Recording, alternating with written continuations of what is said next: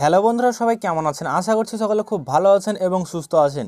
তো বন্ধুরা, যারা পরিযায়ী শ্রমিক যারা বাইরে আছেন, তো তারা তাদের জন্য কিন্তু প্রধানমন্ত্রী ছ হাজার টাকা করে কিন্তু দেওয়া হবে বলে কিন্তু ঘোষণা করেছেন এবং কিন্তু যারা পরিযায়ী শ্রমিক যারা বাড়িতে ফিরবেন, যারা নিজের দেশে ফিরবেন, তাদেরকেই কিন্তু এই ছ হাজার টাকা করে দেওয়া হবে বলে কিন্তু ঘোষণা করা হয়েছে।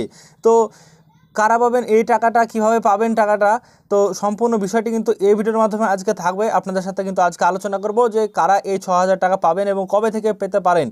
তো বন্ধুরা, ভিডিওটি প্রথম থেকে শেষ পর্যন্ত দেখুন এবং যদি ভালো লাগে তাহলে অবশ্যই একটি লাইক করুন, বন্ধুদের সঙ্গে শেয়ার করুন। চ্যানেলে নতুন হয়ে তাহলে চ্যানেলটিকে সাবস্ক্রাইব করে পাশের বেল আইকন অন করে রাখুন। তাহলে পরবর্তী লেটেস্ট আপডেট ভিডিও সবার আগে আপনি দেখতে পাবেন। কোনো ভিডিও আপনার মিস হবে না।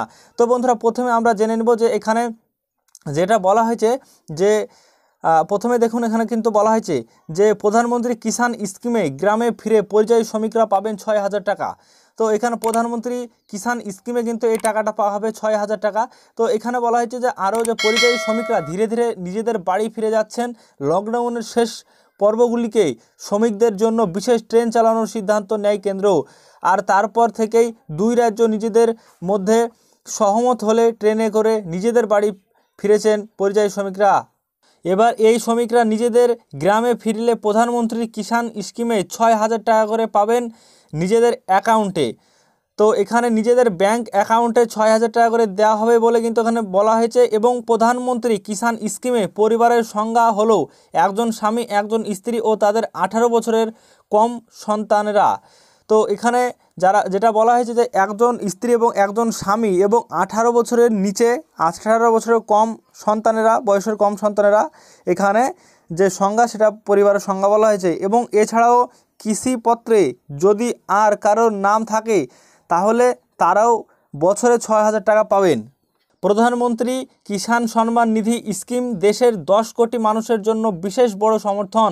এবার এই পরিযায়ী শ্রমিকরাও এই স্কিম থেকেই লাভবান হবেন, যারা প্রাপ্তবয়স্ক তাদের নাম এই নথিভুক্ত করতে হবে। এটা এগ্রিকালচারাল রেকর্ডে নথিভুক্ত করতে হবে। কারোর নাম যদি ইতিমধ্যেই নথিবদ্ধ হয়ে থাকে, তাহলে তারা জয়েন্ট ফ্যামিলি বা সিঙ্গেল ফ্যামিলি হিসেবে সুযোগ পাবেন।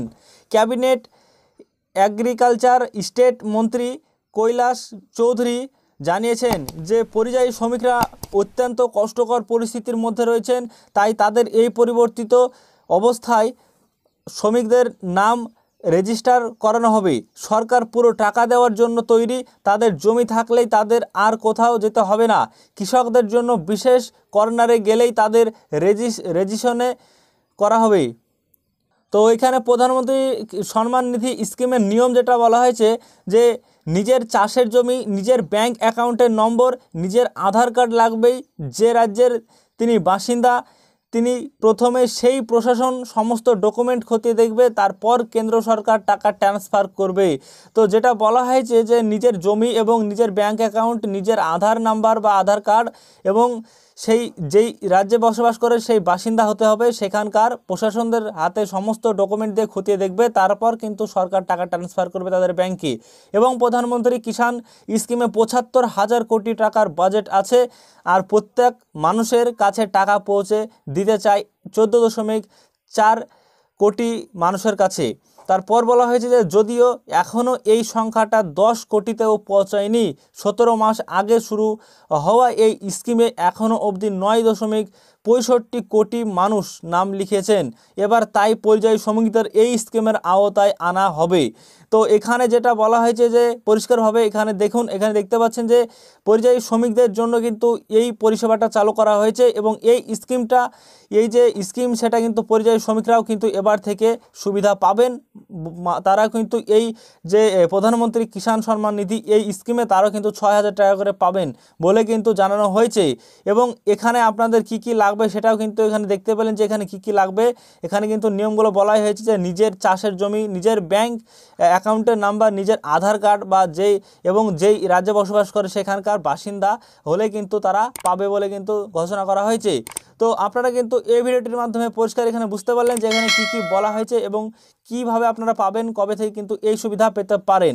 তো বন্ধুরা, ভিডিওটিতে যদি আপনাদের ভালো লাগে, তাহলে অবশ্যই একটি লাইক করবেন, বন্ধুদের সঙ্গে শেয়ার করে তাদেরকেও দেখার সুযোগ করে দেবেন। চ্যানেলে নতুন হয়ে থাকলে চ্যানেলটিকে সাবস্ক্রাইব করবেন, পাশের বেল আইকনটি অন করে রাখবেন, তাহলে পরবর্তী খবর আবার আপনি দেখতে পাবেন, কোনো খবর আপনার মিস হবে না। তো ভিডিওটি আজকে এ পর্যন্তই হলো, আবার দেখা হবে পরবর্তী ভিডিওতে।